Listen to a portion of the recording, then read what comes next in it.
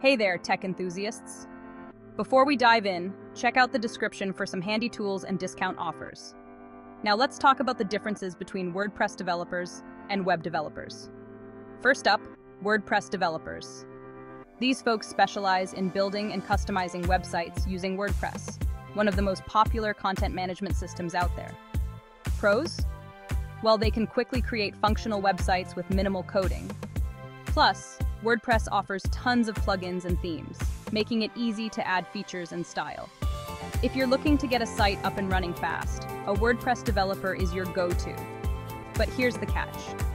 WordPress can be a bit limiting if you need something highly customized or unique. And you might run into performance issues if you overload it with plugins. Security can also be a concern if you don't keep everything up to date. Now on to web developers. These pros have a broader skill set. They can build websites from scratch using various programming languages like HTML, CSS, JavaScript, and more.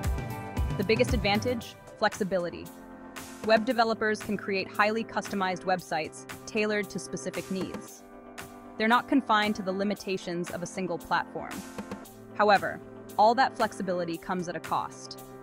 Developing a website from the ground up can take more time and usually requires a bigger budget.